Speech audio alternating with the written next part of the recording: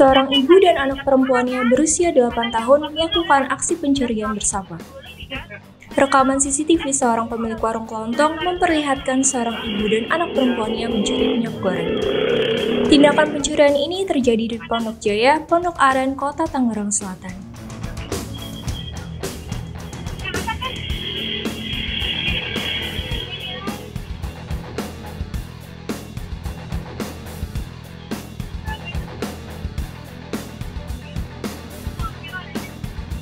Dari rekaman kamera pengawas dapat terdengar jelas suara sang ibu saat berusaha mengelabui penjual.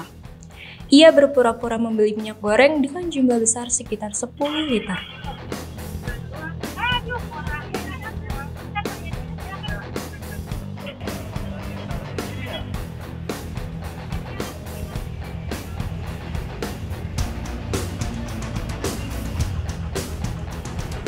Selama sang ibu lakukan tindakan pengelabuan, sang anak mengambil satu dus minyak goreng berisi 12 liter. Pemilik warung baru menyadari barang dagangannya dicuri setelah ada pembeli lain yang ingin membeli minyak goreng. Kasus pencurian ibu dan anak ini sudah dilaporkan ke Polsek Pondok Aren dan dilakukan pemeriksaan sejumlah saksi. Itu di harga 160, sedangkan ibu itu naik, eh, ibu itu nawar di harga 150 bisa nggak?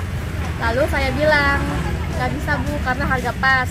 Nggak lama kemudian ibu itu pergi dan langsung tanpa sadar saya eh, nggak e, sadar tanpa sadar itu minyak saya dibawa hmm. satu dus dan itu yang ngangkat anaknya sendiri. Nggak tahu sih saya saya bukan yang mau sujud atau gimana. Itu anak dia atau bukan saya nggak tahu atau anak bayaran. Yang saya lihat anak kecil ngangkat is, uh, satu dus minyak yang seliteran isi 12 itu anak kecilnya cewek pak. Nah dari yang habis kejadian itu langsung kabur. Udah saya nggak ngeliat. Tak sedangkan motornya diparkir di klin, klin Berbekal rekaman CCTV, polisi memburu ibu dan anak tersebut.